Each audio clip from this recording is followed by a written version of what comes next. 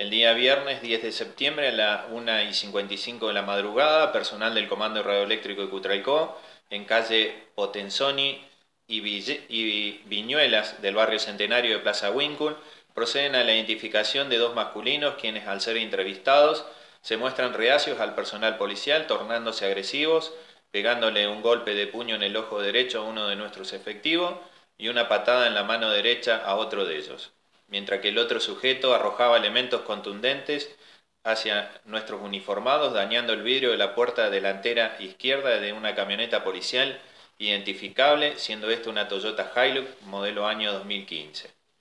También se sumaron a la agresión contra nuestros policías algunos vecinos del lugar. Sin perjuicio a ello, se logró la demora de un joven de 23 años de edad, quien había dañado el vidrio de nuestro vehículo institucional con un golpe.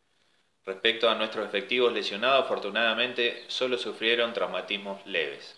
A raíz de ello se abrió una causa judicial por presuntas lesiones, daño, atentado y resistencia a la autoridad con intervención de la Fiscalía de turno. ¿Me recuerda cómo se inició la situación? Esto era un, procedimiento de, rutina que este, se intentaron identificar a estos jóvenes y bueno, se tornaron agresivos.